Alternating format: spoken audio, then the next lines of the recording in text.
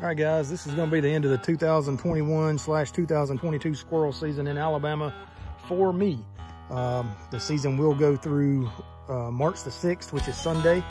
Um, I don't hunt Sundays, and Saturday's supposed to be really hot, like in the in the upper 70s. So I don't think I'm going to be back out here with the dogs. That's why I brought both of them out.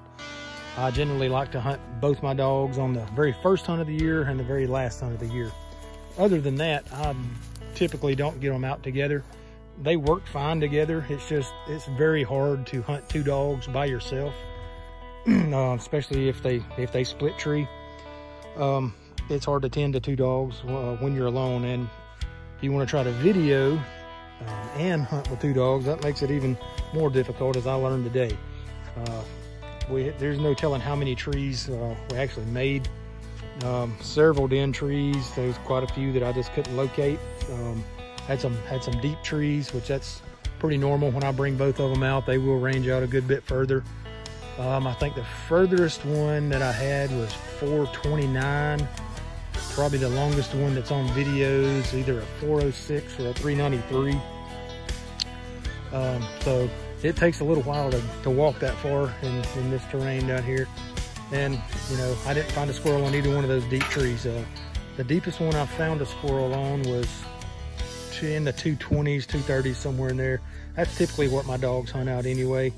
Um, but with that said, uh, Sassy went 13.11 miles today. Betty went 12.26 and uh, they walked me 4.05. So 405, that's about double to what I normally hunt. Um, usually about 2.10 to two and a half, somewhere in there. That's a that's an average. I'd say two and a half is probably average for my hunts on little half day hunts.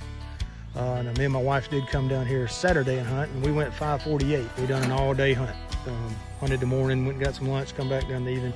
So that was the longest one we've done all year, and uh, yeah, I'm still feeling that one. So when a couple to top this four mile on top of that, I'll be feeling right in the morning.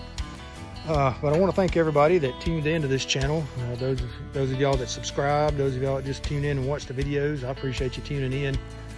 I don't plan to be monetized. I don't think I'm uh, interesting enough to, to have that many views.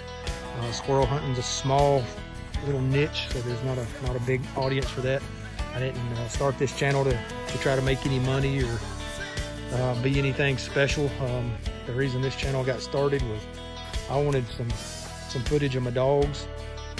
I wanted a way to preserve my pictures and my videos uh, besides on my phone and a photo album. Um, so I created the channel just so I would have a way to, to look back at, at my dogs if something ever happened to those those two uh, methods of storage that I have. So I think I've got enough video of those up um, to last me a while. I don't know if I'll film any of my hunts next year. I may, we'll just have to see how it goes.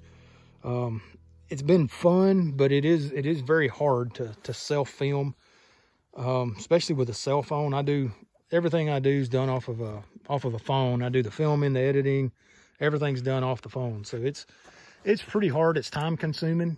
Um, I may look into a GoPro. If I get a GoPro, I may I may film some more hunts. But um, I'll I'll try not to make my videos so boring next year. I won't do as much talking. So. Uh, but anyway, I appreciate everybody tuning in. Hope y'all had a great season. If your season's already over, if you've still got a few days, or if you don't have a closed season, I hope you continue to stack the tailgate full of them. So uh, appreciate everybody, and we'll catch y'all next time.